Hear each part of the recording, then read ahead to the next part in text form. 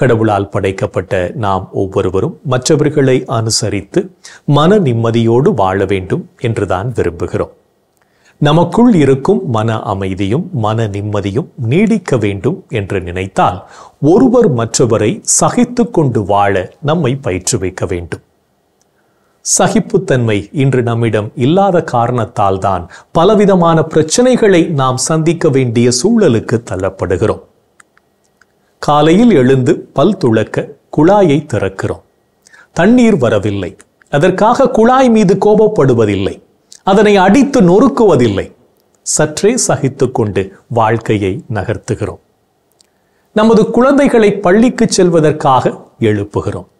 நாம் எழுப்பிய உடனே அவர்கள் எழுந்து விடுவதில்லை. ஆனாலும் சகித்துக் கொள்கிறோம். நமது அனைத்து வேலைகளையும் முடித்துவிட்டு பணித்தளத்திற்கு செல்வதற்காக அவசர அவசரமாக பேருந்து நிலையத்தை நோக்கி செல்கிறோம். வழக்கமாக குறித்த நேரத்திற்கு வரும் பேருந்து சற்றே தாமதமாக வருகிறது. அதற்காக பேருந்திற்காக காத்து கொண்டிருக்கும் மற்ற நபர்களிடம் நாம் கோபப்படுவதில்லை. அவர்களிடம் நமது கோபத்தையும் காண்பிக்க முடியாது. ஆக நம் வாழ்வின் ஒவ்வொரு சூழலிலும் நடக்கும் அனைத்தையும் ஏற்றுக்கொண்டே சகித்து வாழ நம்மை பயிற்றுவித்துக் கொண்டுதான் இருக்கிறோம்.